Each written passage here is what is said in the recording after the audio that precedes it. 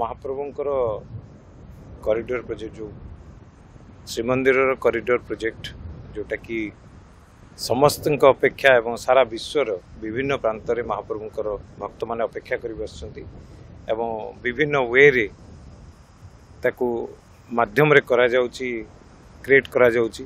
ସେ କଳାକାର ତାର ତୁଳିରେ ହେଉ କି ଷ୍ଟୋନ୍ରେ ହେଉ ବିଭିନ୍ନ ମାଧ୍ୟମରେ। ଆମେ ମଧ୍ୟ ଜଣେ ବାଲୁକା ଚିତ୍ରକଳା ଶିଳ୍ପୀ ହିସାବରେ ଆମ କଳା ମାଧ୍ୟମରେ ମହାପ୍ରଭୁ ଜଗନ୍ନାଥଙ୍କର ଏଇ ପ୍ରୋଜେକ୍ଟକୁ ନିର୍ମାଣ କରୁଛୁ ଏବଂ ଇଏ ଗୋଟେ ଐତିହାସିକ ଆମ ପାଇଁ। କାହିଁକିନା ସାରା ବିଶ୍ୱରେ ଆମେ ଜଗନ୍ନାଥ ମହାପ୍ରଭୁଙ୍କର ଯେତେବେଳେ ଭକ୍ତ ଚାରିଆଡ଼ୁ ଆସନ୍ତି ଏବଂ ପୁରୀକୁ ଦର୍ଶନ କରିବା ପାଇଁ ମହାପ୍ରଭୁଙ୍କ ଦର୍ଶନ ସମୟରେ ବହୁତ ସୁବିଧା ଅସୁବିଧାର ସମ୍ମୁଖୀନ ହୁଅନ୍ତି। ମୁଁ ଭାବୁଛି ଏଇ ପ୍ରୋଜେକ୍ଟ ଦ୍ୱାରା ବହୁତ ସୁଯୋଗ ହେବ ଭକ୍ତମାନଙ୍କ ପାଇଁ।